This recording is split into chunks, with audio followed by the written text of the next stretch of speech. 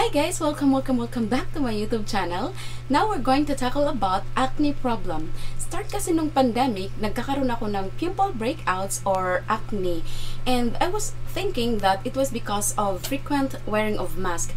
May tendency kasi guys na ma-stuck yung oil or dirt sa face natin kaya magkakaroon ng skin irritation. I took a video nung time na may marami akong pimple guys.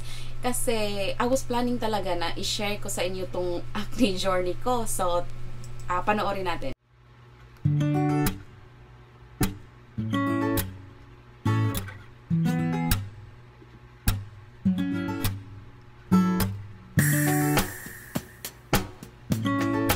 That was the time after nag-vlog ako nung about uh, eyebrow tutorial.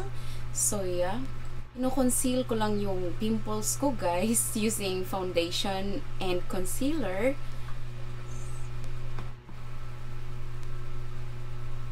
Hindi rin kasi masyadong obvious sa video kasi nasa gilid lang.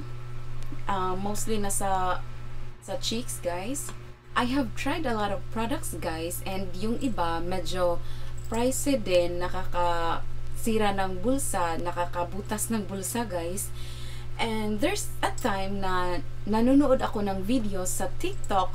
Yes guys, I've learned this product through TikTok. Um, nakikita ko na ginagamit niya para para i-treat yung acne niya.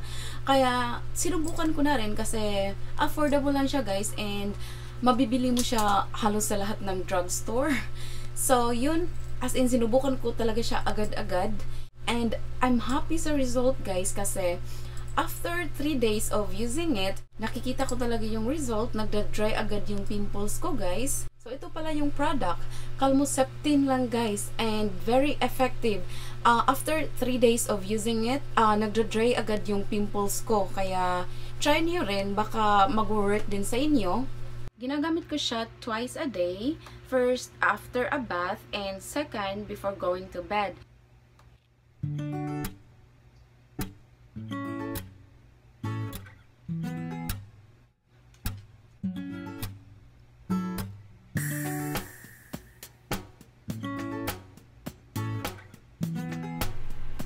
So yan, nilalagay ko lang siya sa part na may pimple.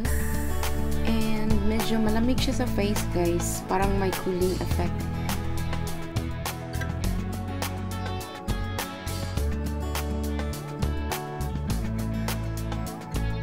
no, wala na akong pimples guys and sana naman wag nang bumalik no so yeah, mga peklat na lang and may mga products din akong sinusubukan para para madali to siyang mawala. And I'm gonna share it with you guys kung may improvements. So that's my acne story guys. And if you like this video please hit that like button and I would really appreciate it. Thank you so much for watching guys and I'll see you soon. Bye